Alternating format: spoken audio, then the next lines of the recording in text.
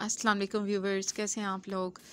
आज हमारे शहर में बारिश हो रही है, पाकिस्तान के काफ़ी इलाकों में बारिश हो रही है। आप लोगों के शहर में भी हो रही होगी तो ज़रूर बताइएगा।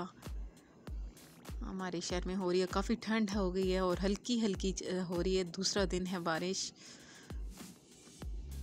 तो ये देखें, मैंने सोचा कि आज हम ना मौसम ठंडा है तो पकोड़े बनाते हैं। तो इस मुनासिबत से हर घर में पकोड़े बनते हैं। तो चलें, आज हम पकोड़े बनाते हैं। आज की रेसिपी मैं आपके साथ शेयर करती हूँ। सबसे पहले एक बाउल लेना है आपने। उसमें मैंने ये कटे हुए प्याज डाले हैं। दो अदद प्याज हैं, काट लिए थे। फिर इसमें आलू ऐड किए हैं। दो अदद आलू थे पालक है। अब इसमें सब्ज़ मिर्चें, दो से तीन अदद थी। बारीक कटी हुई सूखा धनिया, दो चम्मच। और अनारदाना मुझे बहुत पसंद है। दो चम्मच अनारदाना है। और लाल मिर्च पाउडर है, दो चम्मच। कुछ लोगों को कम स्पाइसी होता है तो वो कम बेशक डाल लें और नमक हसब ज़ायका। और बेसन मैंने दो कप डाले हैं। ये देखिए। अब हम इसमें ना पानी ऐड करके ना हल्के हल्के इसे गूंद लेते हैं।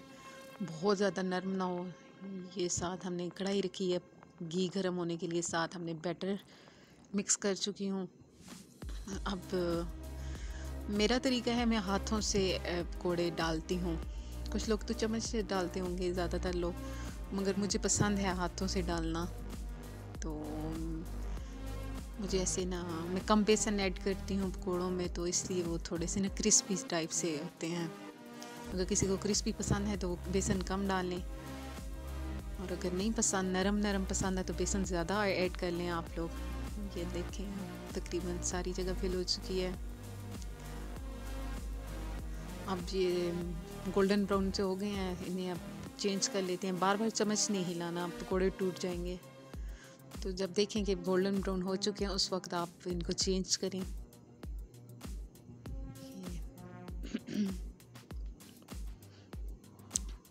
तो ये तकरीबन अब हमारे पकौड़े रेडी हैं। ये देखें कितना प्यारा कलर आ गया इनका। बारिश के मौसम में खुशबू भी बहुत ज़्यादा आती है। चलें, ये देखें जी, हम इनको निकाल लेते हैं। ये ने डिश आउट कर लिया इसको। तो आप लोगों ने ज़रूर ट्राई करना है और मुझे बताना है कि आपको मेरे पकौड़े कैसे लगे हैं। अल्लाह हाफिज़।